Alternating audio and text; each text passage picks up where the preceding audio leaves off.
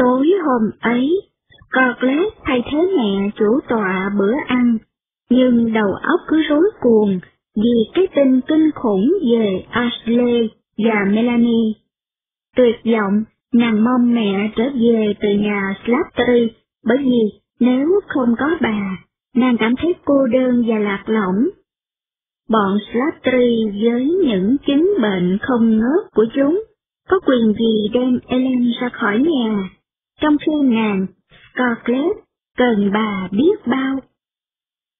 Suốt bữa ăn buồn bã ấy, giọng nói oan oan của ông Tran cứ đập mạnh vào tay, khiến Scarlett tưởng rằng không thể nào chịu đựng được nữa. Ông Gerard đã hoàn toàn quên hẳn câu chuyện hồi chiều, và không ngớt độc thoại vì những tin tức giờ chót đối với căn cứ Sumter, nhấn mạnh bằng cách đấm lên bàn và khoa nắm tay tứ tung. Thói quen của ông trong bữa ăn là điều khiển những câu chuyện và thường thường Scarlett bận rộn với những ý nghĩ riêng, chỉ nghe một cách thờ ơ. Nhưng tối nay, Scarlett không thể nào để lọt vào tai giọng nói của cha. Nàng hết sức vẫn tay lắng đợi tiếng xe ngựa báo hiệu mẹ về. Dĩ nhiên nàng không có ý kể cho mẹ nghe tâm sự thảm não của mình, vì bà Ellen sẽ bất bình và phiền muộn khi nghe con gái bà đi yêu một người đàn ông đã đính hôn với một thiếu nữ khác. Nhưng lần đầu tiên trong đời gặp phải một chuyện bi thương, nàng muốn tìm an ủi nơi mẹ. Nàng thường cảm thấy an toàn hơn khi được gần bên Ellen, vì mẹ nàng luôn luôn biến được những cánh ngộ khó khăn trở nên tốt đẹp chỉ bằng sự hiện diện của bà. Nàng đứng bật lên khi nghe tiếng bánh xe lọc cọc ngoài đường, và rồi lại ngồi xuống khi tiếng xe chạy vòng quanh để ra nhà sau. Chắc không phải là bà Ellen, vì nếu là bà, thì bà đã xuống xe ngay thềm trước. Cái đó có tiếng bập bẹ và tiếng chơi ầm ĩ của bọn da đen vang lên ở sân sau. Qua cửa sổ, Scarlett trông thấy Bob vừa từ trong nhà bước ra, tay cầm một bó đuốc nhựa thông cháy lập lòe, và một vài người không rõ mặt đang bước ra khỏi một cổ xe chở hàng. Trong đêm tối vang lên tiếng xì xào, tiếng cười ồm ồm, những âm thanh vui vẻ quen thuộc, vô tư lự, những âm thanh trong cổ họng trầm bổng như âm nhạc. Cái đó có tiếng chân kéo lê trên bậc thềm trước và lối đi dẫn đến nhà chính, rồi dừng lại trong đại sảnh ngay trước cửa phòng ăn. Có tiếng thì thầm một lúc và bột bước vào, mất hẳn dáng điệu nghiêm chỉnh hàng ngày, mắt tròn xoe và răng cắn xóa. Hắn thở hỗn hển, báo tin với vẻ kiêu hãnh của một tân lang. Thưa ông Gerard, người đàn bà mới của ông đã tới rồi. Gerard giả bộ giận dữ. Đàn bà mới nào? Tao chẳng có mua đứa đàn bà mới nào cả. Dạ thưa ông có mà, thưa ông Trang, Dân, nó đang đứng ngoài kia, nó muốn thưa chuyện với ông. Bob vừa trả lời, vừa dặn tay lo lắng. Thôi được, cho Tân Lương vào. Bob quay lại, ngoắt vợ hắn vào. Đó là người đàn bà mới tới từ đồn điền nhà White, và sẽ trở thành gia nhân của Tara. Vợ hắn bước vào, sau lưng là một đứa bé gái 12 tuổi, bị che khuất bởi cái váy rộng bằng vải chút bâu, đang bám lấy chân mẹ. Lindsay, người cao lớn, thân hình luôn luôn thẳng đứng. Căn cứ vào nét mặt, người ta có thể gắn cho mụ tuổi khoảng giữa 30 tới 60, vì đó là một bộ mặt ít nếp nhăn và bất động như đồng. Ở mụ, dòng máu người da đỏ lớn ác những đặc điểm của người da đen. Trên mặt mụ người ta nhận thấy có sự pha trộn của hai chủng tộc với màu da đỏ, dần trắng cao nhưng hẹp, lưỡng quyền nhô cao, mũi quằn như mỏ kim ưng, nhưng lại hẹp ở chóp và dành môi cộm của người da đen. Đó là một mẫu người tự chủ với dám đi đỉnh đạt, còn vượt hơn cả Mami, bởi vì Mami đã phải tự luyện, còn giới Dinsey thì những cái đó thuộc về bẩm sinh. tiếng nói của mụ không quá lắp bóc như phần đông dân hát chủng, đã vậy mụ còn biết chọn từng lời. Kính chào quý vị tiểu thư, kính chào ông Tran. Tôi rất buồn, phải làm phiền quý vị, nhưng tôi muốn vào đây để cảm ơn quý vị đã mua tôi và đứa con tôi. Có nhiều vị có thể chỉ chịu mua tôi chứ không chịu mua luôn con Pixie của tôi. cái này là tôi không còn gì phải buồn rầu. Và tôi cảm ơn quý vị. Tôi sẽ cố gắng hết sức để tỏ ra mình không bao giờ quên. Hmm, hmm. Ông Charan chỉ có thể đàn hán như thế để che giấu sự bối rối của mình khi một nghĩa cử bị phát giác. Chelsea quay sang phía Scotland và có một cái gì ở khóe mắt mụ giống như một nụ cười. Thưa cô Scarlett, Bob có nói với tôi là chính cô đã yêu cầu ông Grant mua tôi. Do đó tôi rất sung sướng để con Pixie làm nữ tỳ riêng của cô. Mụ vói tay ra sau lôi đứa bé tới trước.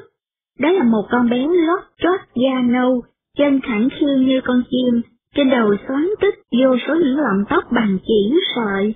Mắt nó sắc bén, chẳng một điều gì có thể lọt qua, nhưng mặt lại làm ra ngu dại.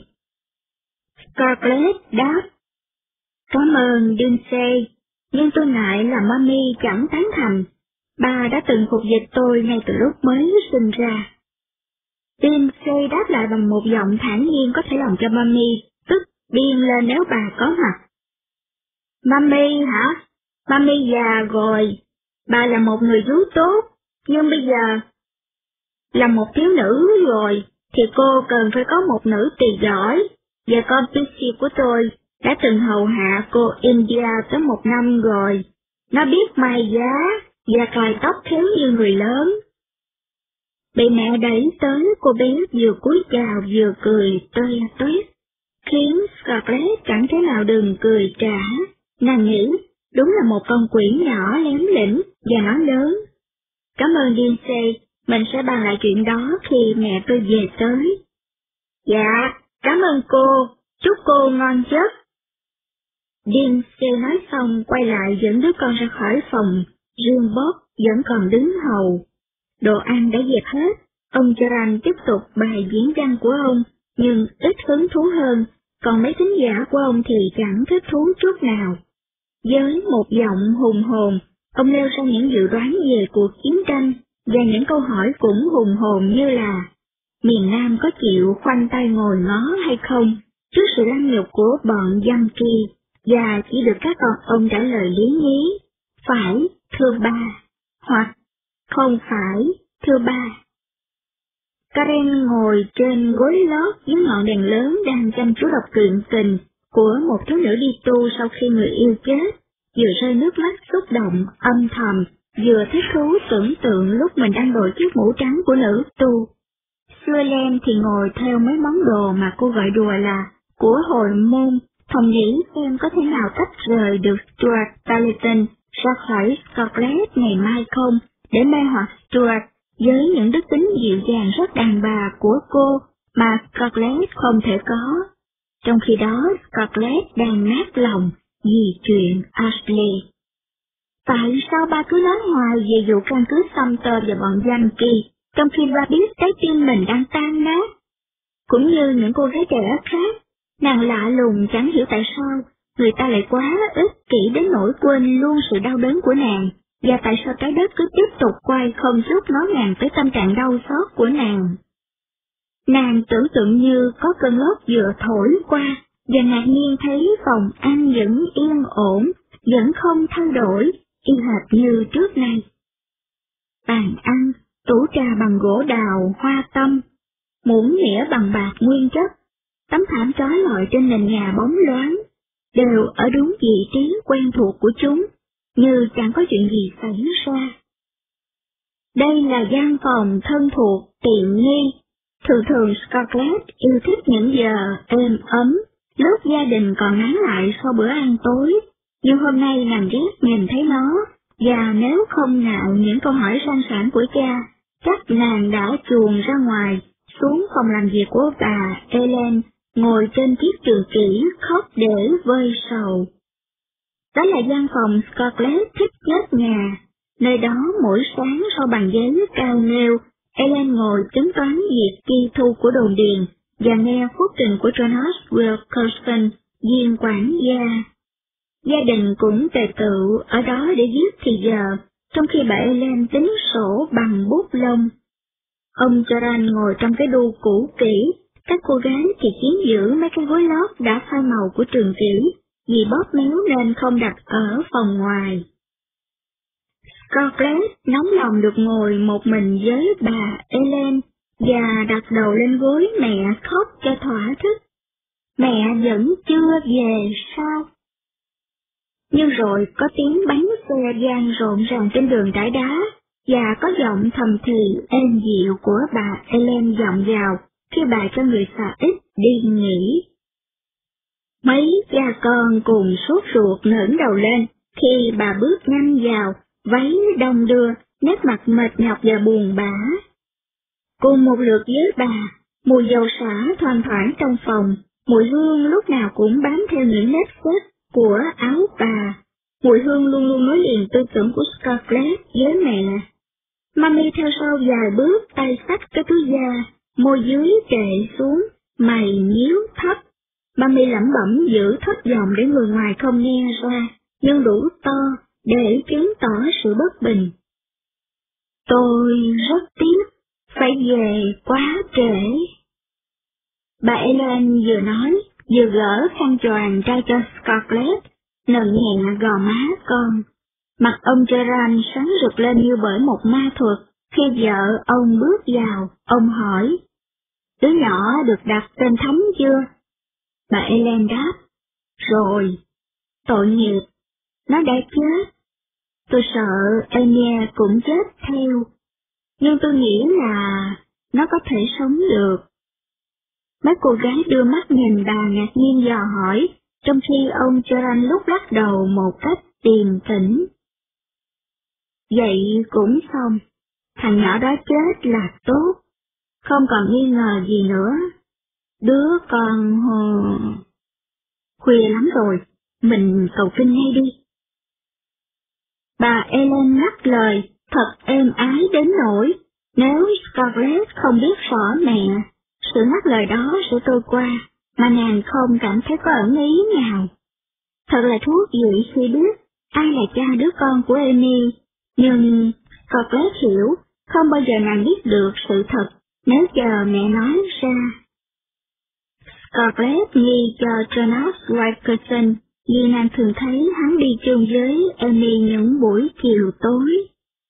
Jonas là người dân kỳ và độc thân, trước vụ quản gia đã ngăn cản hắn không được giao thiệp với xã hội trong hạt. Không gia đình đàng hoàng nào trong hạt có thể gả con cho hắn, không người nào có thể kết thân với hắn ngoại trừ Flattery và bọn hạ lưu như vậy. Vì trình độ học vấn của hắn cao hơn Amy nhiều, nên hiển nhiên là hắn không muốn cưới cô ta, mặc dù hắn thường đi cùng với cô ta vào lúc hoàng hôn. Scarlett thở dài, vì tính tò mò bén nhọn của nàng không được thỏa mãn. Dưới mắt mẹ nàng mọi việc chẳng đáng chú ý bao nhiêu, cũng giống như chẳng hề xảy tới. Ellen làm ngơ trước tất cả những việc trái ngược với tư tưởng của riêng bà, và cố gắng dạy Scarlett như vậy, nhưng kết quả chẳng bao nhiêu. Bà Ellen bước tới cái kệ, kê trên lò sưởi, lấy sâu chuỗi trong cái hộp khảm xà cừ, nhưng Mami ngăn lại một cách quả quyết. Thưa bà Ellen, bà cần phải ăn một chút trước khi đọc kinh. Cảm ơn Mami, nhưng tôi không đói. Tôi sẽ tự tay dọn cho bà, và bà phải ăn mới được. Tráng nhằn tức gì bực dọc, bà bước xuống nhà bếp gọi lớn. Cô, nói con bếp nhóm lửa đi, bà Ellen về rồi. Trong khi sàn nhà rung rinh dưới sức nặng của bà, những lời lầm bầm của bà từ lúc mới trở về, càng ngày càng lớn, ông ông trong tay của mọi người trong phòng ăn. Mình đã nói như vậy nhiều lần, chẳng có ích gì khi giúp đỡ bọn gia trắng, không là gì đó. Chúng là thứ lười nhất, bội bạc nhất, và bà Ellen lại đi giúp đỡ chúng. Cứ cho mấy đứa da đen săn sóc chúng là đủ rồi. Mình đã nói với bà Ellen là... Giọng của bà kéo lê cho đến lúc bà bước vào hành lang, chỉ lập nóc đưa tới nhà bếp. Mammy có phương pháp riêng để phát biểu ý kiến chính xác của bà về mọi chuyện.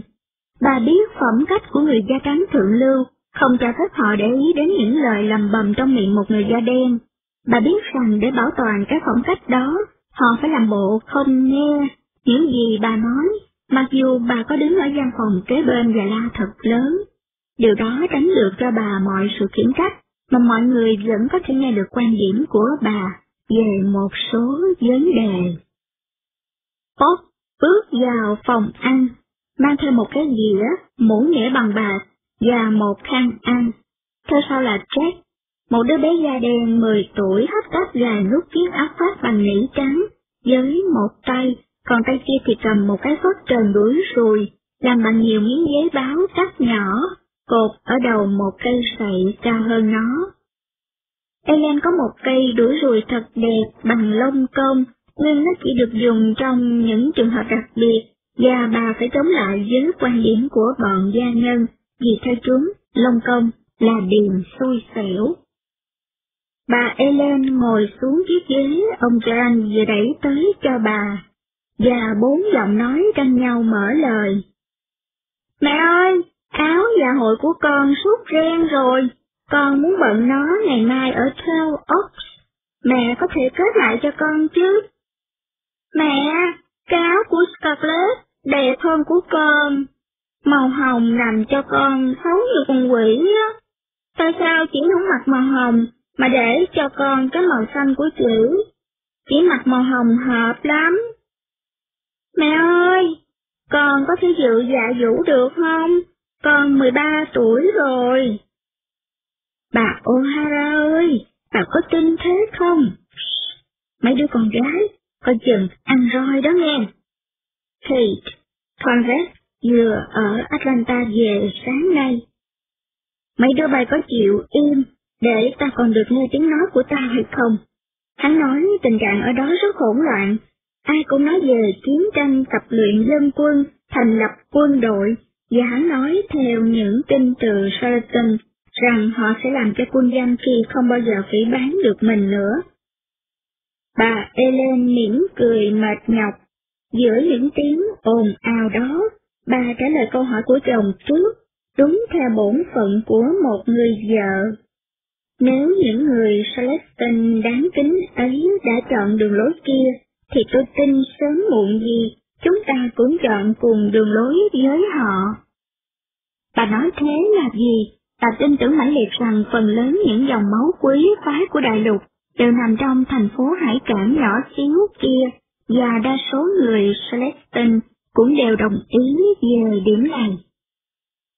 Không, Karen, hãy đợi sang năm con gái cưng à. Lúc đó con mới có thể thức khuya để siêu vũ, mặc quần áo người lớn, và con sẽ có một đôi má hồng thật đẹp Đừng giận con gái, con dự giả yến được và có thể thức đến khi xong bữa ăn tối, nhưng không được dự dạ vũ khi con chưa tới 14 tuổi. Hãy nhớ điều đó. Được cái áo cho mẹ, Scarlett, mẹ sẽ dắt đăng tên lại khi cầu nguyện xong. Julian, mẹ không ưa cái giọng của con. Cái áo hồng rất dễ thương và hợp với màu da của con lắm đó cũng như áo của Scarlett hợp với nước da của nó vậy. Tối nay, mẹ sẽ cho con mượn sâu chuỗi thạch lựu ngọc. Suelen đằng sau Ellen đắc thắng ngang mũi với Scarlett, vì nàng đã định xin mẹ đeo sâu chuỗi ấy. Scarlett thè lưỡi chọc lại. Suelen đúng là một cô em khó chịu, với tính ích kỷ và hay than nhẫn, và nếu Ellen không kiềm giữ được, chắc chắn Scarlett sẽ nhiều lần bạc tay em. Ellen nói, Bây giờ ông O'Hara hãy kể xem, ông Canvert còn nói gì về Celestin nữa không? Scotland biết mẹ không hề quan tâm về những thứ như chính trị, chiến tranh và nghĩ rằng đó là những chuyện của đàn ông. Không người đàn bà nào có thể xen vào một cách thông thạo. Nhưng điều này làm cho Gerard thích thú được phô trương quan điểm của ông, và Ellen luôn luôn ân cần với những thú vui của chồng. Trong khi Gerard nói huyên thuyên về những tin tức nghe được, Mami đặt trước mặt bà chủ mấy đĩa bánh nướng vàng ống, ức gà chiên và củ khoai mỡ vàng, đã lột vỏ trộn chung với bơ lỏng bốc khói nghi ngút. Mami kéo két một cái, nó hấp tấp làm nhiệm vụ bằng cách phe phẩy nhẹ nhẹ cây đũa rùi phía sau bà Ellen. Mami đứng bên cạnh bàn, nhìn mỗi miếng ăn đi vào miệng bà Ellen, làm như có ý định nhé, các thức ăn ấy vào cổ Ellen nếu bà tỏ ra chán ngán. Bà Ellen cố gắng ăn, nhưng Scarlett thấy rõ là bà đã quá mệt nhọc tới nỗi không biết mình đang ăn món gì. Chỉ có gương mặt lạnh như đồng của Mami mới ép buộc bà làm như vậy được. Khi đứa đã cạn thức ăn mà Charan đang ở đoạn giữa những lời chỉ trích về bọn ăn cắp Yankee, muốn tự giải phóng nô lệ mà chẳng chịu đóng góp một xu để trả giá sự tự do của chúng, thì Ellen đứng dậy. Bà miễn cưỡng hỏi chồng, chúng ta có thể cầu nguyện được chưa? Được, khuya rồi, à, trời ơi, đã 10 giờ rồi kia. Đúng lúc đó đồng hồ tường khúc khắc gõ 11 tiếng bằng quả lắc thiết. Karen đáng lẽ phải ngủ lâu rồi. Đem đèn lại đây, bóp và cuốn kinh của tôi, Mami. Được Mami nhắc bằng một giọng thì thào khàn khàn, chắc cất cây đuổi rồi trong một góc nhà, và dọn dẹp mấy đĩa ăn, trong khi Mami lục lọi trong những ngăn kéo tủ trà, tìm quyển kinh thánh cũ của Ellen. bóp nhón gót, giới lên cái khoen xích và kéo chầm chậm ngọn đèn xuống, cho tới khi trần nhà mất dạng trong bóng tối, và mặt bàn tràn ngập ánh sáng chói chang. Ellen thu dọn váy và quỳ xuống sàn nhà, trải quyển kinh thánh trên bàn trước mặt và chắp tay lên đó. Gerard quỳ cạnh bên, Scarlett và Julian vẫn ở chỗ quen thuộc của các cô ở bên kia bàn, cất chiếc váy rộng trên dưới gối để bớt đau vì sàn nhà quá cứng. Karen nhỏ tuổi hơn không thể quỳ một cách thoải mái trước bàn, nên quỳ trên một cái ghế, chống khuỷu tay lên đó Cô rất thích bộ dị này vì cứ thường ngủ gục trong khi cầu nguyện, cho nên trong tư thế đó cô thoát khỏi sự chú ý của mẹ. Ellen nhắm mắt lại và bắt đầu cầu nguyện. Giọng của bà lúc vượt cao, lúc hạ xuống, lúc dịu đi như ru ngủ. Tất cả các mái đầu đều cúi xuống dưới dòm ánh sáng vàng rực của ngọn đèn, trong khi Ellen tạ ơn Thượng Đế đã ban sức khỏe và hạnh phúc cho ngôi nhà, cho gia đình và cho những người da đen của bà. Khi bà chấm dứt những lời cầu nguyện cho những người sống dưới mái nhà Tara, cho cha mẹ chị em, cho ba đứa con trai đã chết của bà, và cho những linh hồn bất hạnh ở tỉnh tội giới, bà siết chặt sâu chuỗi trong tay và bắt đầu lần hạt Tôi như tiếng rì rào của một làn gió nhẹ. Những lời xuống họa tuôn ra khỏi cổ họng người da trắng, lẫn da đen. Thánh Maria, Đức Mẹ Chúa Trời, cầu cho chúng tôi là kẻ có tội, khi này và trong giờ lâm tử. Dù đang đau đớn xót xa, bởi không thể khóc lên được, một cảm giác âm thầm êm dịu và bình an vẫn cứ tới với Scarlett trong những giờ phút đó. Nàng đã gạt bỏ được sự chán nản hôm nay và sự sợ hãi ngày mai, nhường chỗ cho một niềm hy vọng đột khởi, không phải sự hướng thượng của nàng đối với Thượng Đế, đã mang tới cho nàng hương vị đó, vì đối với nàng, tôn giáo không có gì hơn là những lời thị thầm và cầu nguyện chính là sự nhìn thấy khuôn mặt thánh thiện của mẹ nàng, quay về ngai Chúa, các thánh và thiên thần của Ngài, và xin giáng phúc cho những người đàn bà yêu thương đã cho nàng cảm giác đó. Khi Ellen khẩn cầu đấng tối cao, Scarlett chắc chắn là người cũng nghe thấy. Bà Ellen ngừng lại và ông John chẳng bao giờ tìm ra sâu chuỗi của mình trong giờ cầu nguyện, đen lén đến trên mười đầu ngón tay. Nghe âm thanh đều đều của cha, tư tưởng của Scarlett bắt đầu tản mát, không còn tự chế được. Nàng biết là phải tự dấn lương tâm. Bà Ellen đã dặn nàng, cứ mỗi ngày, nàng có bổn phận phải xét kỹ lương tâm để thú nhận tội lỗi, cầu xin Chúa Trời thứ tội và ban cho sức khỏe để khỏi bao giờ tái phạm. Nhưng hôm nay, Scarlett lại tự dấn trái tim nàng. Nàng giấu đầu trong lòng bàn tay để mẹ không nhìn thấy mặt, và những ý nghĩ của nàng buồn thảm quay về Ashley. Tại sao chàng lại định cưới Melanie trong khi thật lòng yêu nàng, Scarlett? Và trong khi chàng cũng biết là nàng yêu chàng, tại sao chàng có thể chủ tâm bóp dở trái tim nàng? Đột nhiên một ý tưởng sáng lòe và mới mẻ, xẹt như sao chổi qua óc nàng. Ủa, Ashley đâu có biết là mình yêu chàng. Suốt nữa nàng đã thở ra thật mạnh vì sự kích động bất ngờ đó. Tư tưởng nàng dừng lại như bị tê liệt một lúc lâu, hụt hơi trong một lúc, rồi lại phóng sổ về phía trước. Làm sao mà chàng biết được, mình luôn luôn tỏ ra kiêu kỳ, đứng đắn và cao quý trước mặt chàng, chàng có thể nghĩ mình chỉ coi chàng như một người bạn. Đúng rồi, chính vì vậy mà chàng không bao giờ tỏ tình với mình. Chàng nghĩ chàng đã yêu trong tuyệt vọng, chính vì vậy mà chàng trông có vẻ quá... À, Scarlett thôi tưởng thật mau tới những lúc bắt gặp Ashley nhìn mình với một vẻ kỳ lạ. Lúc đó đôi mắt xám, như bức màn hoàn toàn che lấp cảm nghĩ của chàng, như mở lớn ra, chứa đựng một vẻ thống khổ và tuyệt vọng. Chàng đau lòng vì cho rằng mình yêu Brand, Stuart hay Kate, và có lẽ chàng đã nghĩ rằng nếu không cưới được mình thì thà làm vui lòng gia đình bằng cách cưới Melanie. Nhưng nếu Ashley biết mình yêu chàng, trời ơi! Đầu óc hay thay đổi của nàng bắn giọt từ chỗ ngã lòng sâu xa nhất, lên đến cõi phấn khởi cuồng nhiệt. Đó là do bản tính, ít nói và lối xử sự lạ lùng của chàng. Chàng không hề biết lòng tự kiêu của nàng nổi dậy với sự tiếp sức do lòng thèm muốn tin tưởng của nàng, biến niềm tin thành sự thật.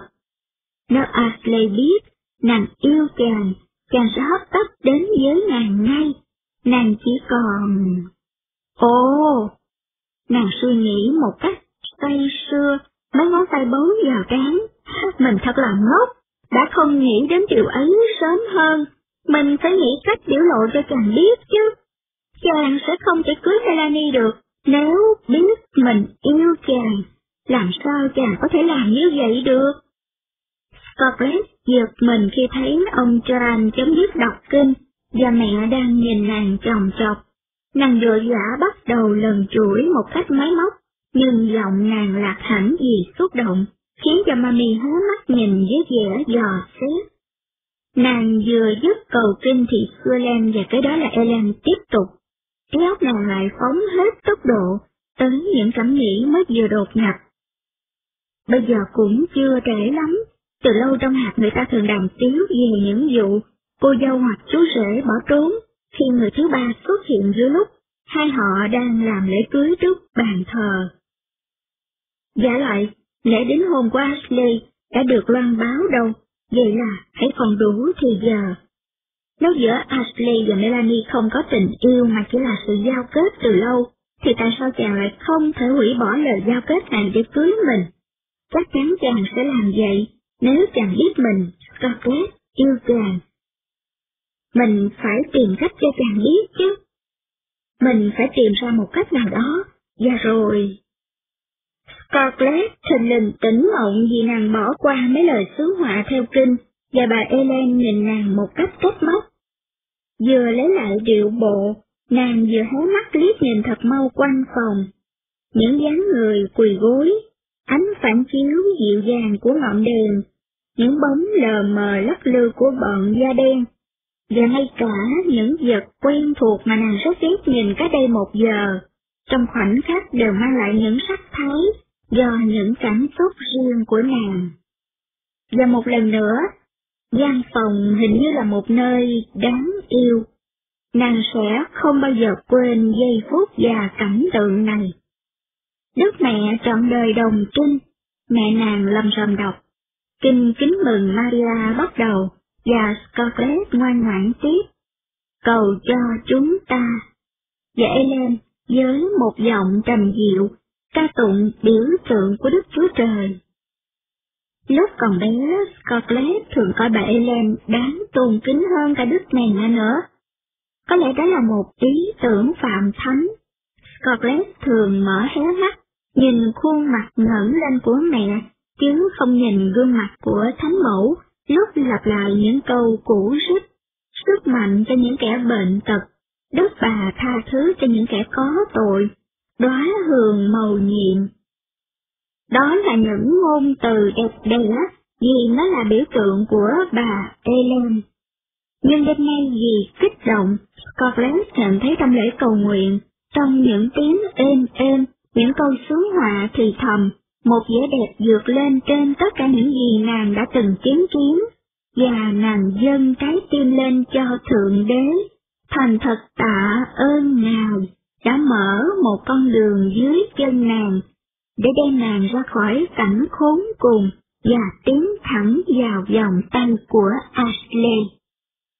Khi tiếng Amen cuối cùng được đọc lên, tất cả cùng đứng dậy, hơi tê người một chút. Mami gượng đứng dậy với sự giúp đỡ của Jenna de Rosa. Bob lấy cuộn mồi lửa trên kệ đốt đèn lên, rồi bước ra phòng ngoài. Đối diện với cầu thang là tủ đựng chén bát bằng gỗ hồ đào. Việc quá lớn nên không sử dụng được trong phòng ăn. Bên trên mặt tủ có đặt nhiều đèn và một dãy trúc dài cắm sỏng nến.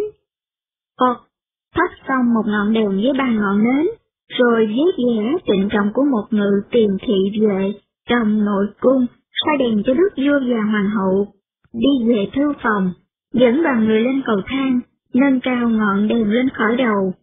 Ellen dịnh tay Geran bước theo ông, mấy cô gái mỗi cô cầm một chút cài bước theo sau. Scarlett về phòng đặt giá nến lên nóc tủ và lục lọi trong cái tủ ngầm ở tường, kiếm bộ áo khiêu vũ cần phải khâu lại. Kẹp áo trong tay, nàng im lặng băng qua phòng ngoài, cửa phòng của cha mẹ vẫn còn hé mở, nàng sốt gõ cửa thì bỗng nghe giọng nói thật thấp, nhưng nghiêm nghị của bà Ellen. Ông O'Hara, ông phải cho Jonas Wilkerson nghỉ việc. Ông Gerard to tiếng, rồi tôi sẽ tìm đâu ra một đứa quản gia khác, không lường gạt của tôi lấy một xu. Phải đuổi nó ngay lập tức, ngay sáng mai. Sam khổng lồ là thằng ca giỏi, nó có thể làm thế công việc, cho đến khi ông mướn được người quản gia khác. Giọng ông Charan gian rõ. À, tôi hiểu rồi. Thì ra, cái thằng Jonas xứng đáng của tôi đã thổi phình cái bụng. Phải đuổi hắn ngay. Scarlett nghĩ thầm. Thì ra, Jonas là cha của đứa bé con Amy Flattery. Ồ, đúng rồi, còn đoán xa đoán gần gì nữa, đối với một tên dân tri và một đứa con gái da trắng đốn mạc. Cẩn thận chờ cho tiếng tàu nhào của cha mình lắng xuống, Scarlett gõ cửa, trao cho mẹ cái áo rồi về phòng. Lúc cởi áo ra thì tắt nến, nàng phát họa một chương trình làm việc với đủ mọi chi tiết cho ngày mai. Đó chỉ là một chương trình đơn giản, rất hợp với đức tính của ông Gerard, nghĩa là rất quả quyết. Nàng không lơi mắt trước mục tiêu và chỉ nghĩ đến những bước trực tiếp nhất để đạt được thành quả. Trước tiên, nàng sẽ làm bộ rất kiêu hãnh như ông Gerard đã dạy. Ngay lúc đến Cloud Oaks, nàng sẽ làm như tươi vui nhất không ai có thể ngờ, nàng đau xót về chuyện Ashley với Melanie. nàng sẽ làm gián với tất cả mọi người. Điều đó hơi tàn nhẫn đối với Ashley, nhưng nó sẽ làm cho chàng khao khát nàng hơn. Nàng sẽ không bỏ qua một người đàn ông nào còn trong tuổi cấn vợ. Từ Frank Kennedy râu đỏ và sọm, kẻ trồng cây suy xuôi lem, cho tới George Hamilton, rụt rè mắc cỡ và trầm lặng, em của Melanie. Họ sẽ dây quanh nàng như con ong dây quanh tổ, và Ashley sẽ rời Melanie để lập bọn với những kẻ ái mộ nàng. Rồi nàng sẽ tìm cách nói chuyện riêng với Ashley vài phút sau đám đông. Nàng hy vọng mọi việc sẽ xảy ra êm thấm và nếu không, có thể sẽ khó khăn hơn. Và nếu Ashley không ngỏ lời trước, thì chính nàng sẽ làm điều đó. Cuối cùng khi cả hai đã hoàn toàn riêng rẽ, chàng sẽ nhớ ngay tới hình ảnh những gã đàn ông mới chen lớn quanh nàng, và Ashley sẽ cảm xúc hơn nữa với sự kiện. Tất cả những kẻ ấy đều ao ước chiếm được nàng. Và nét buồn thảm pha lẫn thất vọng của hôm nọ sẽ hiện lên ở mắt chàng. Bây giờ, nàng sẽ làm cho chàng khoan khoái trở lại bằng cách để cho chàng thấy nàng vẫn yêu thích chàng hơn mọi người đàn ông trên thế gian này. Và khi thú nhận điều đó, nàng sẽ làm ra vẻ khiêm tốn dịu dàng và hàng ngàn phương cách khác nữa. Dĩ nhiên, nàng sẽ thực hiện tất cả những việc đó trong phạm vi của một người phụ nữ đoan trang. Nàng sẽ không mơ mộng mà nói một cách trơ tráo là yêu chàng. Đó là một việc không đưa tới thành công. Nhưng chọn cách nào để nói, vẫn là một chi tiết chẳng làm nàng bối rối bao nhiêu. Từ trước, nàng đã sắp xếp được những hoàn cảnh tương tự, thì nàng vẫn có thể làm lại, như thế dễ dàng. Nằm dài trên giường đắm mình trong ánh trăng, Scarlett hình dung suốt cảnh ấy. Nàng tưởng tượng tới sự ngạc nhiên và hạnh phúc hiện rõ trên mặt Ashley khi nàng xác định là nàng thật lòng yêu chàng và nàng sẽ được nghe những lời chàng phải nói để cầu hôn. Tự nhiên là nàng sẽ trả lời rằng nàng không thể nghĩ tới chuyện kết hôn với một người đàn ông đã đến đất ước với một cô gái khác, nhưng chàng sẽ cố gian nài và nàng sẽ làm như bị thuyết phục. Cái đó, cả hai cùng quyết định trốn đi Jonesboro ngày xế trưa hôm ấy và... Ủa? Trong đêm nay, giờ giờ này, nàng có thể đã là bà Ashley White. Scarlett ngồi bật dậy lòng tay ôm gối, và trong một lúc lâu tràn ngập hạnh phúc, nàng thấy mình đã là bà Ashley White, vợ của Ashley. Nhưng một cảm giác lạnh buốt bỗng ùa tới. Nếu mọi việc không tiến hành theo một chiều thuận lợi, nếu Ashley không khẩn cầu nàng trốn đi với chàng, nàng xua đuổi một cách quả quyết ý nghĩ đó ra khỏi ốc. Mình sẽ không nghĩ tới chuyện đó bây giờ, nó sẽ làm mình rối trí lên mất. Chẳng có lý do gì, mọi việc sẽ không xảy ra theo chiều hướng mong muốn của mình nếu chàng yêu mình, và mình biết chàng phải yêu mình. Nàng ngẩng mặt lên và đôi mắt xanh diềm mi đen lấp lánh ánh trăng. Bà Ellen chưa bao giờ nói với nàng rằng điều ước mơ và sự thành tựu là hai việc rất khác nhau. Cuộc sống chưa dạy nàng rằng kẻ thắng cuộc không phải chỉ là những người mau nhất. Nàng nằm xuống trong ánh bạc, với lòng can đảm dương lên và phát họa những dự định của một cô gái 16 tuổi mà cuộc đời thật hoàn mỹ, đến nỗi thất bại chỉ là một chuyện không tưởng, còn một cái áo đẹp hay một làn da mịn màng, mới là thế giới để chiến thắng số phận.